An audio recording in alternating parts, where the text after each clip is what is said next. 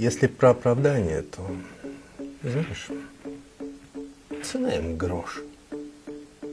Если про расставание, ускорим шаг. Если тебя простили, не значит, что ты хорош. Значит, душа простившего